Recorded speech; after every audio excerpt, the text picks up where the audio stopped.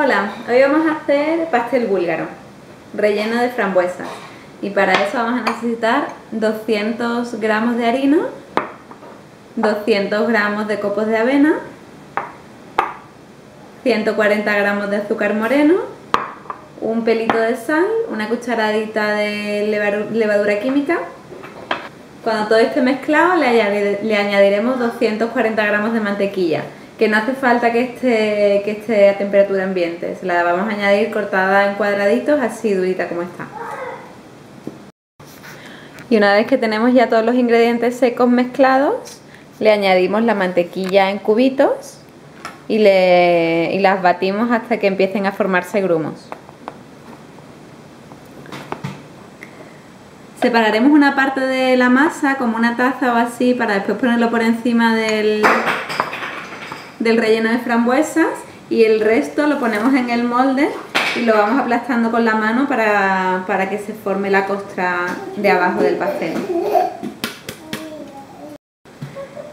Y la masa la vamos aplastando con las manos o con un vasito para que se quede una buena base para el pastel. Y esto lo metemos al horno a 180 grados durante 12 o 15 minutos hasta que se quede todo compacto y dorado. Para el relleno necesitaremos 25 gramos de azúcar moreno y 50 gramos de harina, medio kilo de, mm, de frambuesas que pueden ser frescas como estas o congeladas y como 30 gramos de mantequilla derretida. Entonces mezclaremos muy bien el azúcar con la harina hasta que se haga un polvo homogéneo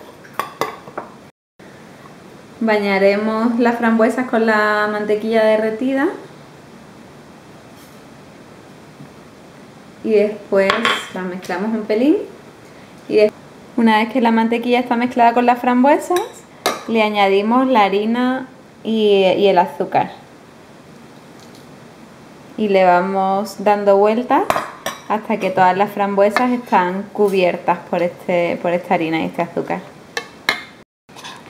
al, irlas mezclando las frambuesas se, rompen, pero no pasa nada porque al orlearlas también van a perder la forma. Y cuando ya tienen este aspecto de pasta homogénea, lo ponemos por encima de... Y a la base que ya hemos horneado, le ponemos por encima la masa de frambuesas.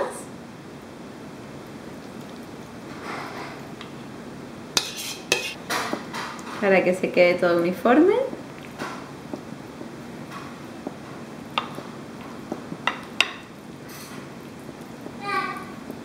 Los restos de, masa que reservamos al principio, pues los ponemos un poco la base